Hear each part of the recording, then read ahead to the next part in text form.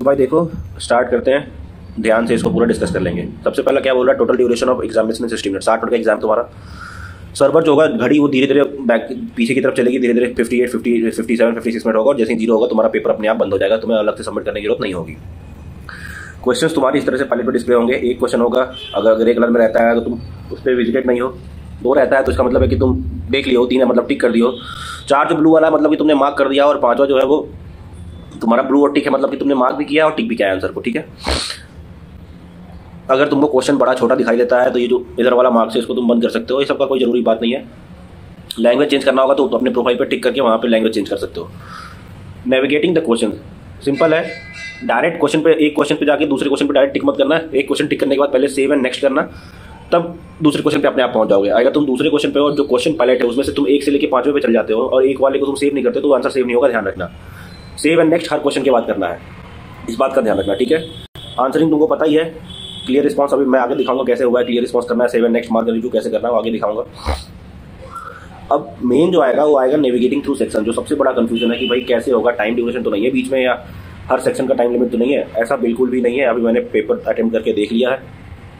तुम किसी भी सेक्शन पे जंप कर सकते हो, कभी भी जंप कर सकते हो, ठीक है? कोई टेंशन नहीं लेना इस बारे में। किसी भी सेक्शन पे जंप कर सकते हो, कभी भी कर सकते हो। जैसे तुम अगर जनरल नॉलेज कर रहे हो तो एक से लेकर बीस तक अगर तुम कर रहे हो। और जो बीसवां क्वेश्चन है तुम्हारा, उस बीसवें क्वेश्चन पे अगर तुम टिक कर रहे हो सेव एंड नेक्स्ट तुम अगले सेक्शन के पहले क्वेश्चन पे अपने आप पहुँच जाओगे। वापस अगर तुम आना चाहते हो तो वापस भी आ सकते हो, क्योंकि इसमें अब मैंने आगे ट्राई किया है, देखा है तो उसमें सबमिट बटन पर क्लिक नहीं हो रहा है। तो इसका मतलब ये नहीं है कि तुम्हें हर सेक्शन को सबमिट करना वैसे इसमें समझ नहीं आ रहा, मुझे एक बहुत बड़ी कंफ्यूजन दिख रही है। इसमें लिखा है कि एक बार आप अगर सेक्शन को सबमिट कर देंगे तो दोबारा वापस नहीं आ सकते। तो वहाँ पर ये ध्यान रखना ये चीज़ अभी क्लियर नहीं हो पा रही, मुझे भी इस क्योंकि इस फ़ोन में सबमिट बटन पे क्लिक हो नहीं पा रहा है। अब मुझे ये नहीं समझ आ रहा कि क्यों नहीं हो रहा है। बट वहाँ पे तुम ये ध्यान रखना कि तुम दो तीन चीज़ें, तुम्हें हर क्वेश्चन पे सेव एंड नेक्स्ट करना है। क्वेश्चन पे आगे पीछे जा सकते हो, बेशक बिल्कुल कोई टेंशन नहीं है। अब आप आज चलो देख लेते हैं इसको कैसे करना है। ये तो तुमको पता ही है। पाँच सब्जेक्ट है बीस बीस क्वेश्चन के, कोई टेंशन नहीं है। यहाँ तुम्हें लैंग्वेज सेलेक्ट कर लेना अपना और यहाँ पे चेक बॉक्स पर टिक कर देना। इसमें खुद लिखा हुआ है कि एक क्वेश्चन पे ज़्यादा समय मत लगाना, तुम अपना ध्यान से करना कि किस क्वेश्चन पे कितना टाइम देना है, ठीक है? एक ही क्वेश्चन में फंसे मत रहना कि सारा टाइम वही खत्म हो जाए, ठीक है? ये भी ध्यान रखना कि अगर तुमको इंग्लिश या हिंदी पढ़ने में अगर कोई गड़बड़ी लग रहा है तो जो इंग्लिश वाला क्वेश्चन होगा वो सही माना जाएगा, ठीक है? नेगेटिव मार्किंग है भाई वन बाई फोर अगर तुम एक क्वेश्चन गलत करते हो तो पॉइंट टू फाइव नंबर तुम्हारा कट होगा, ठीक है? चलो, अब आगे देखते हैं, सब इसको सेलेक्ट करके कैसे करना है। इंग्लिश सेलेक्ट कर दिए चेक बॉक्स पर टिक कर दिए और आप रेडिंग टू बिगिन करेंगे अब। पेपर स्टार्ट हो गया। जनरल नॉलेज आ गया, देखो इसमें मैंने कैसे कैसे किया हुआ है। टिक किया अब तुम अगर क्लियर रिस्पांस करके दूसरा करना चाहते हो तो क्लियर रिस्पॉन्स करके दूसरा भी कर सकते हो। वैसे तुम चाहो तो डायरेक्ट दूसरा ऑप्शन भी क्लिक कर सकते हो। रिस्पॉन्स क्लियर करने की ज़रूरत नहीं है। तो अपना डायरेक्ट को दूसरा क्वेश्चन भी टिक कर सकते हो। मार्क सेव एंड नेक्स्ट ज़रूर करना। दूसरे क्वेश्चन पहुँच गया। कैपिटल ऑफ़ इंडिया टिक कर दिए। अगले क्वेश्चन पहुँचे लेकिन हमने उसमें मार्क रिव्यू किया, देखो टिक भी किया और मार्क भी किया तो ब्लू है। इसका मतलब कि तुमने मार्क किया कि बाद में तुम देखोगे इसमें क्या हो सकता है तुम्हें कोई डाउट है, लेकिन तुमने आंसर टिक कर दिया। तो ये जो आंसर है, ये तुम्हारा वैल्यूएट होगा। ठीक है? हटाया क्लिक किया। तीसरे नंबर अब देखो, ये वाला जो दो नंबर है जो तुम्हारा सिर्फ़ ब्लू दिखाई दे रहा है। ये तुम्हारा, इसका मार्क्स काउंट नहीं होगा, क्योंकि तुमने इसमें कोई आंसर टिक नहीं किया है। टिक करके सेवन नेक्स्ट करोगे, ये ग्रीन हो जाएगा। देखो ग्रीन हो गया। इसका मतलब यही है कि जो ग्रीन है उसे तुमको मार्क किया, वो तुम्हारा नंबर देगा। जो ब्लू है, उस पर टिक है, वो मार्क किया है तो वो तुम्हें नंबर देगा। आगे पीछे भी जा सकते हो प्रीवियस नेक्स्ट कर सकते हो प्रीवियस कर सकते हो, कोई टेंशन नहीं है। अब चलो चेक कर लेते हैं कि आगे क्या करना है, जो सेक्शन जंप करने वाली चीज़ें थी।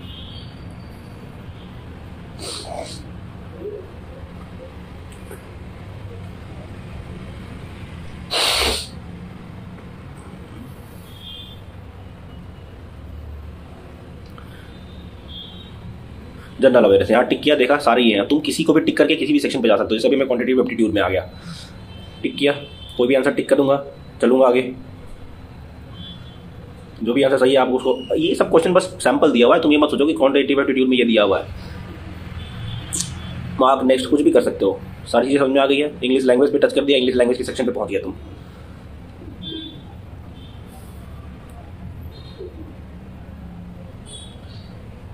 तुम अब यही है कि तुम किसी भी क्वेश्चन पे जा सकते हो, ये क्योंकि यहाँ का सबमिट बटन काम नहीं कर रहा है तो तुम किसी भी क्वेश्चन पे जा सकते हो, किसी भी सब्जेक्ट के किसी भी क्वेश्चन पे जा सकते हो, कोई टेंशन नहीं। लेकिन जो बीसवा क्वेश्चन है, बीस, बीसवें क्वेश्चन पे, बीसवें क्वेश्चन पे टिक करके, बीसवें क्वेश्चन पे टिक किए और सेवन नेक्स्ट करोगे तो अगले सब्जेक्ट के पहले क्वेश्चन पे अपने आप पहुँच जाओगे। यही तुम्हें बताना चाह रहा था मैं। हर सेक्शन पे कभी भी जा सकते हो, यहाँ ऊपर में टिक करके। ठीक है? अपने हिसाब से देख लेना किसको कितना टाइम देना है, और अब बिल्कुल टेंशन मत लेना, अभी भी थोड़ा बहुत टाइम बचा हुआ है, पढ़ लो। मैं माफ़ी चाह रहा हूँ कि मैं कुछ नहीं कर पा रहा हूँ, क्योंकि आज मैं पूरे दिन एग्ज़ाम दिया और मैं बिल्कुल थका हुआ हूँ, बिल्कुल तबीयत ठीक नहीं है मेरी। मैं आगे चुपचाप सो गया, दो घंटे बाद उठ के आपके लिए ये वीडियो बना रहा हूँ। ये सारा मैंने भाई आप लोगों को एक प्रॉपर मॉक दिखा दिया और सारी अब जो चीज़ें बता दी, आपको बिल्कुल कंटेस्ट है, बिल्कुल राइट है, आप उसको ध्यान दीजिएगा पेपर देते समय। मेरी तबीयत बिल्कुल भी ठीक नहीं है भाई, चेहरे से लग रहा होगा। अजीब सा तबीयत हो रखा है, जुकाम हो रखा है, लगातार छींक रहा हूँ मैं। और सिर्फ़ दर्द हो रहा है बहुत ज़्यादा, लेकिन अभी मैं जा रहा हूँ अपने क्वार्टर्स पे, लगभग 200 किलोमीटर दूर है यहाँ से। तो बिल्कुल थक जाऊँगा, एक दो बज जाएगा पहुँचने में। तो कल सुबह मैं आपको मैंसुरेशन का दे दूँगा। कल सुबह आपको मैं मैंसुरेशन का सर्कल का जो भी थोड़ा बहुत इंपॉर्टेंट फॉर्मूलाज होंगे दे दूँगा।